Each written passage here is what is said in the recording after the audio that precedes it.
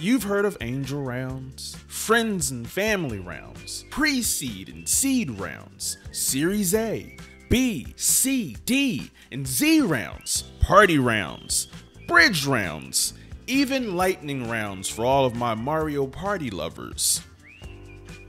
I'd show a picture, but they'd sue us.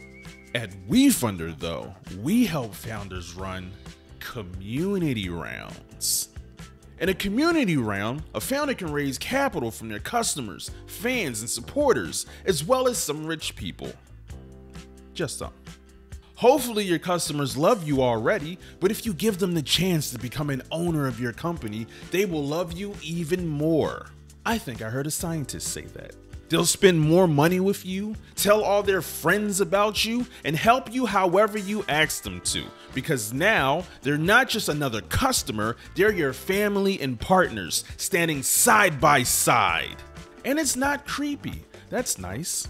You can raise up to 5 million per year on WeFunder on favorable terms, giving up less control, which means even less chance of getting thrown out of your own party or company. It's a cold world at times. And we roll up all of your super supportive investors into one neat line on the cap table via an SPV, but it's not really about the money, is it? It is. But it's also about community engagement or marketing. Yeah, I said the M word. Recruiting an army of champions that will accelerate your growth and help you win. What? That's what they'll say plus sign, if you're going to slave away at building a game changing company for the next 10 years, wouldn't you rather create wealth for your earliest supporters as well as some rich people you don't really know? Some. Emphasis on some. Side note rich people are fine. I'm just joshing. Many of them are really smart. We suggest raising from everybody though, VCs and angels. Just try to make sure your community gets a little bit more for once. This is their opportunity of a lifetime. No shade to the rich people. That's what Mercury Bank did. Earlier this year, they raised 120 million Series B from Coatue and Andreessen Horowitz, but then opened up a 5 million allocation for their customers to invest because they were like, "Ain't no fun if my peoples can't get in," and they raised all of it in like a few minutes by just sending out an email. That's our biggest example of how spreading love via the community round looks, but it's not our only one.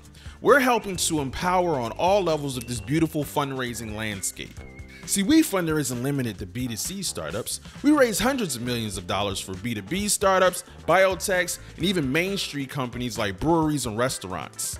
So, if you want to learn more about opening up all or part of your next round to your customers and community that loves you, emphasis, you can learn more at wefunder.com slash raise or shoot us an email at hello at wefunder.com and let the people invest in you even more. Woo! That felt good.